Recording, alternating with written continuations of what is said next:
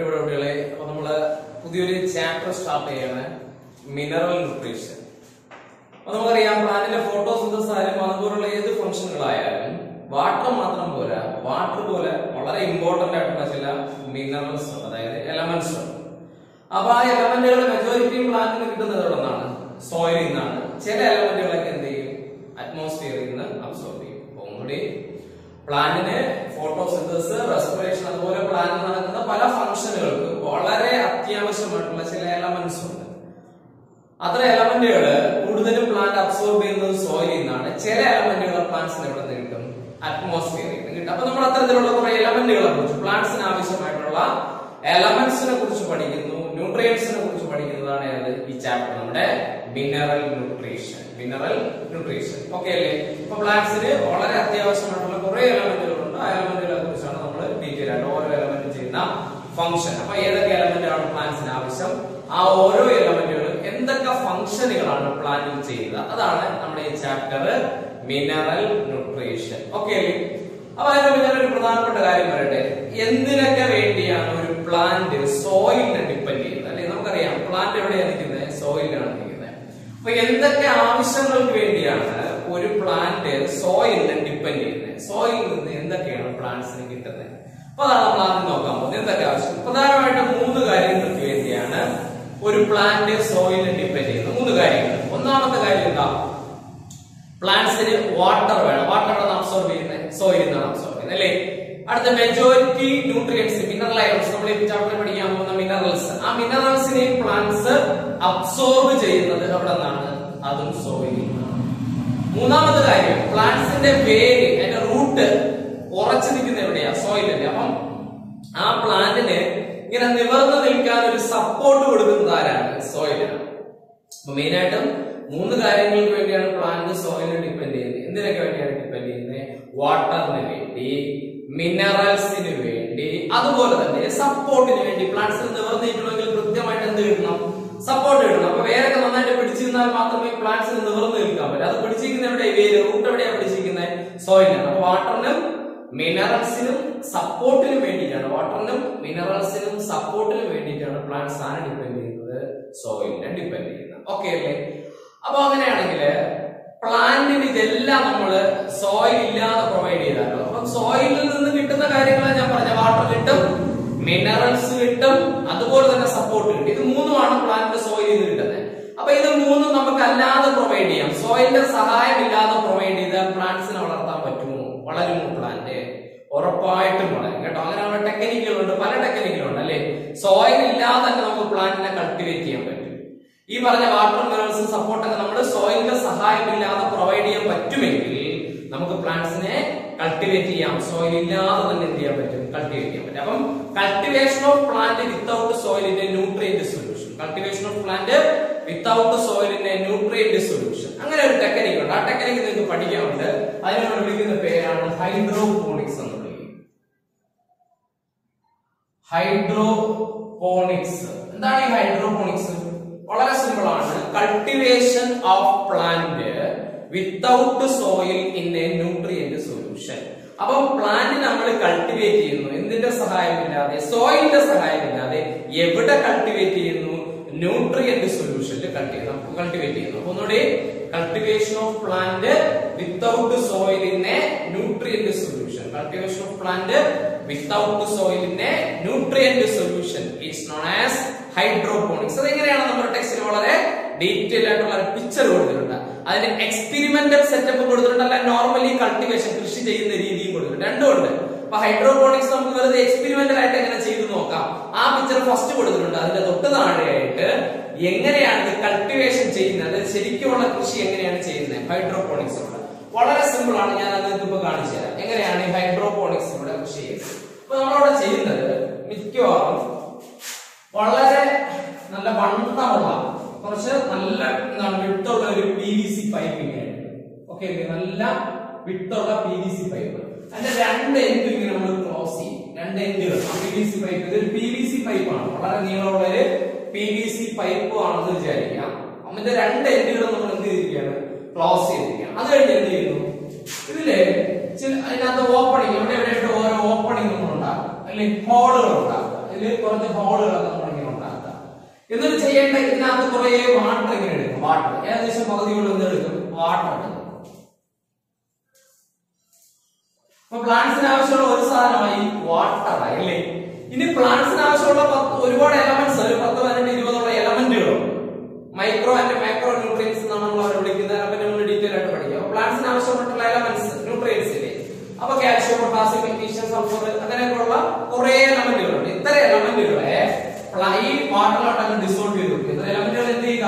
ഈ വാട്ടറിലോട്ട് നന്നായിട്ട് ഡിസോൾവ് ചെയ്യുക. അല്ലേ? അപ്പൊ എന്താ ചെയ്യുന്നത് നമ്മൾ ആദ്യം കുറെ വാട്ടർ എടുത്തു ആ എന്താണ് ഈ പി വി സി പറഞ്ഞത് അതുപോലുള്ള പല സെറ്റപ്പുകളും ഉണ്ട് ഞാനൊരു എക്സാമ്പിൾ ഇത് പറഞ്ഞതേ ഉള്ളൂ ഹൈഡ്രോപോണിക്സ് ചെയ്യാൻ. അപ്പൊ അതിനകത്ത് കുറെ വാട്ടർ എടുത്തു.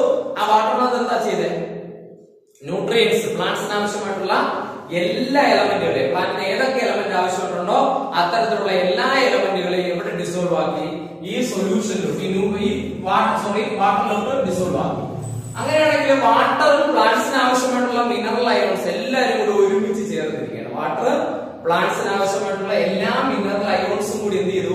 ഒരുമിച്ച് ചേർന്നിരിക്കട്ടെ ഇപ്പൊ നമുക്ക് എന്ത് വിളിക്കാം? ന്യൂട്രിയന്റ് സൊല്യൂഷൻ എന്ന് പറയും ഈ സൊല്യൂഷനായി കാരണം വാട്ടറായി പ്ലാന്റ്സിന് ആവശ്യമായിട്ടുള്ള കംപ്ലീറ്റ് എലമെന്റുകളായി വാട്ടറും നമ്മൾ ആ വാട്ടറിലേക്ക് എന്താ ചെയ്തേ? പ്ലാന്റിന് ആവശ്യമായിട്ടുള്ള എല്ലാ എലമെന്റുകളെയും നന്നായിട്ട് ഡിസോൾവ് ചെയ്യിപ്പിച്ചു. പ്ലാന്റ്സിന് ആവശ്യമായിട്ടുള്ള എല്ലാ എലമെന്റുകളെയും നന്നായിട്ട് എന്ത് ചെയ്തു?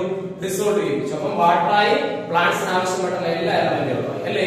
അപ്പൊ ഈ സൊല്യൂഷൻ നമ്മൾ വിളിക്കുന്ന പേരാണ് ന്യൂട്രിയന്റ് സൊല്യൂഷൻ ഈ സൊല്യൂഷൻ നമ്മൾ എന്ത് വിളിക്കും. ന്യൂട്രിയന്റ് സൊല്യൂഷൻ ന്യൂട്രിയന്റ് സൊല്യൂഷൻ നോക്കിയോ ആ എല്ലാ ഡിസോൾവ് അല്ലേ? ഇത് ഈ സൊല്യൂഷൻ പേരാണ് ന്യൂട്രിയന്റ് സൊല്യൂഷൻ ഇതിനകത്തുള്ള സൊല്യൂഷന്റെ ന്യൂട്രിയന്റ് സൊല്യൂഷൻ വാട്ടറും എല്ലാ ചേർത്ത് ഡിസോൾവ് സൊല്യൂഷൻ ആയി? ന്യൂട്രിയന്റ് സൊല്യൂഷൻ ഈ ന്യൂട്രിയന്റ് സൊല്യൂഷനകത്ത് പ്ലാന്റ്സിനെ കൾട്ടിവേറ്റ് ചെയ്യുന്നതിനാണ് എന്ത് ഹൈഡ്രോപോണിക്സ് എങ്ങനെയാണ് വിളിക്കുന്നത്. എങ്ങനെയാണെന്ന് നോക്കും നമ്മൾ ഇതിനകത്ത് എന്ത് ചെയ്യുക? ഇങ്ങനെ പ്ലാന്റ്സിനെ ഇറക്കി വെക്കുക. പ്ലാന്റ്സിന്റെ റൂട്ട് എവിടെ വരണം? ഈ വാട്ടറിലോട്ടോ അല്ലെങ്കിൽ ഈ ന്യൂട്രിയന്റ് സൊല്യൂഷനിലോട്ട്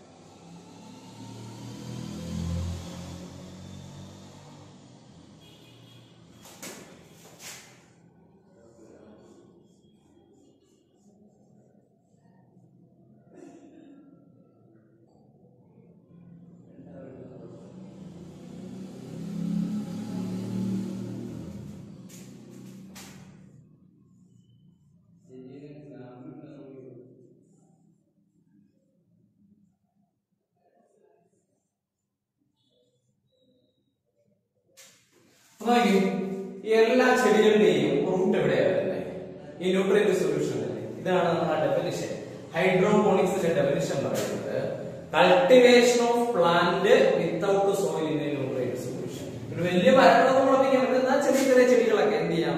നമുക്ക് ഇതുപോലെ ഹൈഡ്രോപോണിക്സിലൂടെ ഡെവലപ്പ് ചെയ്യുക ഇവിടെ എന്ത് വേണ്ട? സോയിൽ വേണ്ട. Cultivation of plant without soil പിന്നെ ന്യൂട്രിയന്റ് സൊല്യൂഷൻ ഇതിപ്പോ നമ്മുടെ കൾട്ടിവേഷൻ ആയിട്ട് ചെയ്യുന്നതാണ് ഈ പിക്ചർ അല്ലാതെ എക്സ്പെരിമെന്റൽ ആയിട്ട് നമ്മൾ വെറുതെ ചെയ്ത് നോക്കുന്ന ആ പിക്ചർ എന്ന് പറയുന്ന ടെക്സ്റ്റിനകത്ത് ആദ്യമുണ്ട്. രണ്ട് ഈ രണ്ട് പിക്ചറും ഉണ്ട്. ആദ്യം കൊടുത്തിട്ടുള്ളത് ഒരു എക്സ്പെരിമെന്റ് ആണ്. അപ്പൊ ഇങ്ങനെ കൾട്ടിവേഷൻ ഓഫ് പ്ലാന്റ് വേണമെങ്കിൽ സപ്പോർട്ട് അപ്പൊ വാട്ടർ ആയി സപ്പോർട്ട് വേണമെങ്കിൽ നമുക്ക് ഇവിടെ കോട്ടൺ പഞ്ഞി ഉണ്ടല്ലോ പഞ്ഞി കോട്ടൺ ആ പഞ്ഞി നമുക്ക് ഇങ്ങനെ സപ്പോർട്ട് ആയിട്ട് വെച്ച് കൊടുക്കാൻ പറ്റും. അപ്പം അതിന്റെ സ്റ്റെമ്മിന് വേറെ ഡാമേജ് ഒന്നും വരില്ല ആ പ്ലാന്റിന്റെ സ്റ്റെമ്മിന് വേറെ ഡാമേജ് ഇവിടെ നമ്മൾ ആരോഗ്യം കോട്ടൺ വെച്ചു അല്ലേ? അപ്പൊ ഇതാണ് ഹൈഡ്രോപോണിക്സ് എന്ന് പറയുന്നത് കൾട്ടിവേഷൻ ഓഫ് പ്ലാന്റ് വിത്തൗട്ട് സോയിലിന്റെ ന്യൂട്രിയന്റ് സൊല്യൂഷൻ ഓക്കെ അപ്പൊ നമ്മൾ ഇനി ചെയ്യുന്നത് പ്ലാന്റ്സിന് ആവശ്യമായിട്ടുള്ള എലമെന്റ്സിനെയാണല്ലോ ഇവിടെ മിനറൽസ് എന്ന് പറയുന്നത്. മിനറൽ ന്യൂട്രീഷൻ ആ മിനറൽസ് എന്ന് പറഞ്ഞാൽ എന്താ?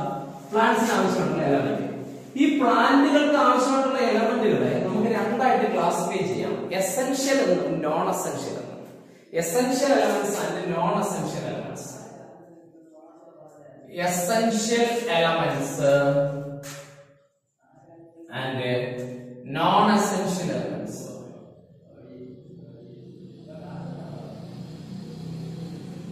അപ്പൊ എസെൻഷ്യൽ എലമെന്റുകൾ നോൺ നമ്മൾ പ്ലാന്റ്സിന് ആവശ്യമായിട്ടുള്ള എലമെന്റുകൾ നമ്മൾ രണ്ടായിട്ട് ക്ലാസിഫൈ ചെയ്യുന്നു. എസെൻഷ്യൽ എലമെന്റ് എന്നും non essential elements essential and non essential elements അപ്പൊ എന്താണ് ഇതിലുള്ള ഡിഫറൻസ് ചിലർ പറയുന്നത് ആവശ്യമുള്ളത് ആവശ്യമില്ലാത്തത്. അങ്ങനെയല്ല കേട്ടോ. രണ്ടും എലമെന്റ്സ് രണ്ടും ആവശ്യമാണ്. പക്ഷേ എസെൻഷ്യൽ മീൻസ് അത്യന്താപേക്ഷിതമാണ് ആവശ്യമൊന്നല്ല അതിൽ കൂടുതലാണ്. അതായത് അതില്ലാതെ ഒരു കാരണവശാലും പറ്റില്ല. അതാണ് എസെൻഷ്യൽ അപ്പൊ എസെൻഷ്യലിന് ആവശ്യം എന്നൊരു ചെറിയ മീനിങ് കൊടുക്കരുത്. അത്യാവശ്യം എന്നുള്ള മീനിങ് ആണ് കൊടുക്കാൻ അത്യന്താപേക്ഷിതം. അതായത് ഈ എസെൻഷ്യൽ എന്ന് പറയുന്ന എലമെന്റുകൾ ഇല്ലാതെ പ്ലാനിൽ ഒന്നും ചെയ്യാൻ പറ്റില്ല. അതാണ് എസെൻഷ്യൽ എന്ന് പറഞ്ഞാൽ അത്യന്താപേക്ഷിതം. വളരെ അത്യാവശ്യം. അതില്ലാതെ ഒരിക്കലും പറ്റില്ല അതാണ് എസെൻഷ്യൽ ഈ നോൺ എസെൻഷ്യൽ മീൻസ് ഇത് ഇല്ലെങ്കിലും പ്രശ്നമില്ല പ്ലാനിന് നോൺ എസെൻഷ്യൽ എന്ന് പറഞ്ഞാൽ എന്താണ്?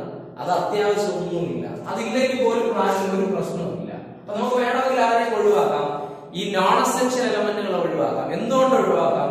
അവരില്ല എന്ന് പറഞ്ഞ പ്ലാന്റിന് യാതൊരു കുഴപ്പവുമില്ല. അവരില്ല എന്ന് പറഞ്ഞ് പ്ലാന്റ്സിന് യാതൊരു പ്രശ്നവുമില്ല. അത്തരം എലമെന്റുകളെയാണ് നമ്മൾ എന്തെന്ന് വിളിക്കുന്നത് നോൺ എസെൻഷ്യൽ എലമെന്റ് എന്ന് വിളിക്കുന്നത് നോൺ എസെൻഷ്യൽ അപ്പൊ ഒന്നുകൂടി പ്ലാന്റ്സിന് ആവശ്യമായിട്ടുള്ള എസെൻഷ്യൽ എന്നും നോൺ എസെൻഷ്യൽ എന്താണ് ഈ നോൺ എസെൻഷ്യൽ എന്ന് പറഞ്ഞത് എസെൻഷ്യൽ എന്ന് പറഞ്ഞാൽ എന്താ? വളരെ അത്യന്താപേക്ഷിതമാണ് ആവശ്യം എന്നുള്ള ചെറിയ മീനിങ് അല്ല ഞാൻ വീണ്ടും പറയാണ്. എസെൻഷ്യലിന് മലയാളത്തിൽ നമ്മൾ ഉപയോഗിക്കുന്ന വേർഡ് അത്യന്താപേക്ഷിതം എന്ന് പറഞ്ഞാൽ ഒഴിച്ചുകൂടാനാവാത്തത് അതില്ലാതെ പറ്റില്ല. നോൺ എസെൻഷ്യൽ എന്ന് പറഞ്ഞാൽ എന്താ? അത്ര വലിയ അത്യാവശ്യമൊന്നുമില്ല. കിട്ടിയാൽ കൊള്ളാം നമ്മൾ ചില കാര്യങ്ങളാണ് കിട്ടിയാൽ കൊള്ളാം എന്ന് പറയില്ല അതുപോലെ ഉള്ളൂ. അല്ലാതെ അത് വേണമെന്ന് നിർബന്ധമൊന്നും ഇല്ല. അങ്ങനെ വേണമെന്ന് നിർബന്ധം ഇല്ലാത്ത ഈ നോൺ എസെൻഷ്യൽ അതുകൊണ്ട് തന്നെ നമുക്ക് അവനെ ഒഴിവാക്കി കളയാം. ആരെ? നോൺ എസെൻഷ്യൽ ഒഴിവാക്കാം. അപ്പൊ നമ്മൾ ആരെ പറ്റി മാത്രം പഠിക്കുകയാണ് എസെൻഷ്യൽ എലമെന്റുകളെ പറ്റി മാത്രം പറയാണ് അല്ലേ? ഒരു എലമെന്റ് എസെൻഷ്യൽ ആണോ അല്ലയോ? എന്നിപ്പോ ഞാൻ സോഡിയം എന്നൊരു എലമെന്റ് പറയട്ടെ. അല്ലെങ്കിൽ പൊട്ടാസ്യം എന്നൊരു എലമെന്റ് പറയട്ടെ. കാൽഷ്യോ മഗ്നീഷ്യോ എന്നൊരു എലമെന്റ് പറയട്ടെ. അപ്പൊ ഒരു എലമെന്റ് എസെൻഷ്യൽ ആണോ അല്ലയോ എന്ന് തീരുമാനിക്കുന്നത് എങ്ങനെയാണ്? ഇപ്പൊ ഞാൻ ഒരു എക്സാമ്പിൾ ഉണ്ട്. മെഗ്നീഷ്യം എന്നൊരു എലമെന്റ് തന്നെ എടുക്കുകയാണ്. ഈ മെഗ്നീഷ്യം എസെൻഷ്യൽ ആണോ അല്ലയോ എന്ന് നമുക്ക് എങ്ങനെ മനസ്സിലാക്കാൻ പറ്റും അതിന് വേണ്ടിയിട്ട് മൂന്ന് ക്രൈറ്റീരിയകൾ അവിടെ മെയിൻ ആയിട്ട് പറയുന്നുണ്ട്. മൂന്ന് ക്രൈറ്റീരിയ ആ മൂന്ന് ക്രൈറ്റീരിയകളിൽ ഏതെങ്കിലും ഒരെണ്ണമെങ്കിലും ബാധകമായിട്ടുള്ള എലമെന്റിനെ മാത്രമേ നമുക്ക് എസെൻഷ്യൽ എലമെന്റ് എന്ന് വിളിക്കാൻ പറ്റൂ. അപ്പൊ മൂന്ന് ക്രൈറ്റീരിയകളാണ് അവിടെ പറയുന്നത്. ഒരു എലമെന്റ് എസെൻഷ്യൽ ആണോ? വേണ്ടേ എന്ന് തീരുമാനിക്കുന്ന മൂന്ന് പ്രധാനപ്പെട്ട ക്രൈറ്റീരിയകളുണ്ട് ഈ ക്രൈറ്റീരിയകളിൽ ഏതിലെങ്കിലും ഒന്നിലെങ്കിലും ഇമ്പോർട്ടന്റ് ആയിട്ടുള്ള എലമെന്റിനെ നമുക്ക് എന്ത് വിളിക്കാൻ പറ്റൂ? എസെൻഷ്യൽ എന്ന് വിളിക്കാൻ പറ്റുമോ ആ ക്രൈറ്റീരിയകളിലേക്ക് നമുക്ക് വരാം. ഒന്നാമത്തെ ക്രൈറ്റീരിയ ഇങ്ങനെയാണ്. ഒരു പ്ലാന്റിന്റെ ഒന്നാമത് ഒരു എലമെന്റ് എസെൻഷ്യൽ ആണോ അല്ലയോ എന്ന് തീരുമാനിക്കുന്ന മൂന്ന് ക്രൈറ്റീരിയ ഉണ്ട് ഒന്നാമത്തെ ക്രൈറ്റീരിയ ഇതാണ് പ്ലാന്റിന്റെ ഗ്രോത്തിലോ പ്ലാന്റ് ഗ്രോത്തിലോ അതിന്റെ റീപ്രൊഡക്ഷനിലോ. ഗ്രോത്തിലോ അതിന്റെ റീപ്രൊഡക്ഷനിലോ ഡയറക്ട്ലി ഇൻവോൾവ് ആയിട്ടുള്ള എലമെന്റ് ഒരു പ്ലാന്റിന്റെ ഗ്രോത്തിലോ റീപ്രൊഡക്ഷനിലോ ഡയറക്ട്ലി ഇൻവോൾവ് ആയിട്ടുള്ള എലമെന്റ് എസെൻഷ്യൽ ആണ് ഒന്നുകൂടി ഒരു പ്ലാന്റിന്റെ ഗ്രോത്തിൽ അല്ലെങ്കിൽ അതിന്റെ റീപ്രൊഡക്ഷനിൽ ഡയറക്ട്ലി ഇൻവോൾവ് ആയിട്ടുള്ള എലമെന്റ് എന്താണ്? എസെൻഷ്യൽ ആണ്. എന്താണ്? എസെൻഷ്യൽ ആണ്. രണ്ടാമത്തെ ക്രൈറ്റീരിയ എന്ന് പറയുന്നത് ഒരു പ്ലാന്റിന്റെ മെറ്റബോളിക് ആക്ടിവിറ്റീസിൽ ഇൻവോൾവ് ആയിട്ടുള്ള മെറ്റബോളിക് ആക്ടിവിറ്റീസിൽ എന്ന് പറഞ്ഞാൽ എന്താ ഉദ്ദേശിക്കുന്നത്? പ്ലാന്റ് ഫോട്ടോസിന്തസിലൂടെ ഫുഡ് പ്രിപ്പയർ ചെയ്യുന്നു. ആ ഫുഡിനെ പ്ലാന്റ് എല്ലാ സെല്ലുകളിലും വെച്ച് ബ്രേക്ക് ഡൗൺ ചെയ്ത്. ഓക്സിജൻ ഉപയോഗിച്ച് ബ്രേക്ക് ഡൗൺ ചെയ്ത് എനർജി ആക്കി മാറ്റുന്നു. ആ എനർജി ഉപയോഗിച്ചിട്ടാണ് പ്ലാന്റ് എല്ലാ പ്രവർത്തനങ്ങളും എല്ലാ ഫങ്ഷൻസും നടത്തുന്നത്. അപ്പൊ അതിനെയാണ് നമ്മൾ മെറ്റബോളിസം മൊത്തം ചേർത്ത് എല്ലാം ചേർത്ത് വിളിക്കുന്ന പേരാണ് മെറ്റബോളിസം പ്ലാന്റിന്റെ മെറ്റബോളിക് ആക്ടിവിറ്റീസ് പ്ലാന്റിന്റെ മെറ്റബോളിക് ആക്ടിവിറ്റീസിൽ ഇൻവോൾവ് ആയിട്ടുള്ള എലമെന്റ്സ് എന്താണ്? എസെൻഷ്യൽ ആണ്. അപ്പൊ ഒന്നുകിൽ പ്ലാന്റ് ഗ്രോത്തിലോ റീപ്രൊഡക്ഷനോ ഇൻവോൾവ് ആയിരിക്കണം. അല്ലെങ്കിൽ പ്ലാന്റ് മെറ്റബോളിക് ആക്ടിവിറ്റീസിൽ ഇൻവോൾവ് ആയിരിക്കണം. മൂന്നാമത്തെ ക്രൈറ്റീരിയ എന്ന് പറയുന്നത് ഒരു എലമെന്റിന്റെ ഫംഗ്ഷനെ മറ്റൊരു എലമെന്റ് കൊണ്ട് റീപ്ലേസ് ചെയ്യാൻ പറ്റിയില്ല എങ്കിൽ അല്ലേ? അപ്പൊ അതാണ്. ഒരു എലമെന്റ് ഫംഗ്ഷനെ cannot be replaced by an another element എന്ന് പറഞ്ഞാൽ എന്താണ് ഉദ്ദേശിക്കുന്നത്? ഒരു എക്സാമ്പിളിലൂടെ ഞാൻ പറഞ്ഞുതരാം. ഇപ്പൊ ഞാൻ രണ്ട് എലമെന്റ് നിങ്ങളെ പരിചയപ്പെടുത്തുകയാണ്. നേരത്തെ പറഞ്ഞാൽ മെഗ്നീഷ്യവും കാൽഷ്യവും രണ്ട് എലമെന്റുകളെ ഞാൻ പരിചയപ്പെടുത്തുന്നത് മെഗ്നീഷ്യവും കാൽഷ്യവും ശ്രദ്ധിച്ചു കേട്ടോ. എന്നാലേ ഈ പോയിന്റിന്റെ മീനിങ് പറയാൻ പറ്റും. അപ്പൊ ഈ പോയിന്റ് മീനിങ് കറക്റ്റ് അപ്പൊ ഒരു എലമെന്റിന്റെ ഫംഗ്ഷനെ ഫംഗ്ഷനെ cannot be replaced by another element എന്നാണ് പറയുന്നത്. അതായത് ഒരു എലമെന്റിന്റെ ഫംഗ്ഷനെ വേറെ എലമെന്റ് കൊണ്ട് റീപ്ലേസ് ചെയ്യാൻ പറ്റിയില്ല എന്താണ് എക്സാമ്പിൾ നോക്കി ഇപ്പൊ കാൽഷ്യം ഒരു ഫംഗ്ഷൻ ചെയ്യുന്നു. ആ കാൽസ്യം ചെയ്യുന്ന ഫംഗ്ഷൻ കാൽസ്യത്തിന്റെ ആബ്സെൻസിൽ ആ ഫംഗ്ഷൻ മെഗ്നീഷ്യത്തിനെ കൊണ്ട് ചെയ്യാൻ പറ്റുമെങ്കിൽ കാൽസ്യം ഒരിക്കലും എന്തല്ല എസെൻഷ്യൽ അല്ല. കാരണം കാൽഷ്യം ആണ് ആ ഫംഗ്ഷൻ ചെയ്യേണ്ടത്. പക്ഷെ കാൽഷ്യത്തിന്റെ ആബ്സെൻസിൽ ആ ഫംഗ്ഷൻ ചെയ്യാൻ ആർക്കും പറ്റുന്നുണ്ട്. മെഗ്നീഷ്യത്തിന് പറ്റുന്നുണ്ടെങ്കിൽ കാൽഷ്യം നമുക്ക് എന്തെന്ന് വിളിക്കണ്ട? എസെൻഷ്യൽ എന്ന് പറയണ്ട. പക്ഷേ അടുത്ത് നോക്കിക്കോണം കാൽഷ്യം ചെയ്യുന്ന ഫംഗ്ഷൻ കാൽഷ്യത്തെ കൊണ്ട് മാത്രമേ പറ്റൂ. വേറെ മെഗ്നീഷ്യം എന്നല്ല വേറെ ഒരു എലമെന്റുകളെ കൊണ്ടും പറ്റില്ല കാൽഷ്യം ചെയ്യുന്ന ഫംഗ്ഷൻ ചെയ്യാൻ ആർക്കേ പറ്റൂ? കാൽഷ്യത്തെ കൊണ്ട് മാത്രമേ പറ്റൂ. മറ്റൊരു എലമെന്റുകളെ കൊണ്ടും പറ്റില്ലെങ്കിൽ ഞാൻ നേരത്തെ പറ്റിയാൽ എന്ന് വെറുതെ ഒരു എക്സാമ്പിൾ പറഞ്ഞത് യഥാർത്ഥം പറഞ്ഞാൽ കാൽഷ്യത്തെ ഭക്ഷണം ചെയ്യാൻ കാൽഷ്യത്തെ കൊണ്ടേ പറ്റും. വേറെ ആരെ കൊണ്ടും പറ്റൂല. അതാണ് യഥാർത്ഥം. അതുകൊണ്ട് കാൽഷ്യം ആരാണ്? എസെൻഷ്യൽ ആണ്. ഇനി മെഗ്നീഷ്യം ചെയ്യുന്ന ഫംഗ്ഷൻ മെഗ്നീഷ്യം കൊണ്ട് മാത്രമേ ചെയ്യാൻ പറ്റൂ. വേറെ ആരെ കൊണ്ട് ചെയ്യാൻ പറ്റില്ല. ഒരു എലമെന്റിനെ കൊണ്ട് ചെയ്യാൻ പറ്റില്ല. എങ്കിൽ മെഗ്നീഷ്യം ആരാണ്? എസെൻഷ്യൽ ആണ്. അതോ അതങ്ങനെയുള്ള ഒരുപാട് എലമെന്റ് ഉണ്ട്. കാൽഷ്യം മെഗ്നീഷ്യം മാത്രമല്ല. അയർ ഉണ്ട് സൾഫർ ഉണ്ട് പൊട്ടാസ്യം ഉണ്ട് മോളിബിൻ ഉണ്ട് സിങ്ക് ഉണ്ട് കോപ്പർ ഉണ്ട്. അങ്ങനെ ഒരുപാട് എലമെന്റ് ഉണ്ട്. ഈ എലമെന്റുകളൊക്കെ ചെയ്യുന്ന ഫംഗ്ഷൻ അവരെ കൊണ്ട് മാത്രമേ ചെയ്യാൻ മറ്റൊരു എലമെന്റുകളെ കൊണ്ട് ചെയ്യാൻ പറ്റില്ല. അതുകൊണ്ട് അവരെല്ലാവരും എന്താണ്? എസെൻഷ്യൽ ആണ്. അപ്പം ഒരു എലമെന്റിന്റെ function cannot be replaced by another element അല്ലേ?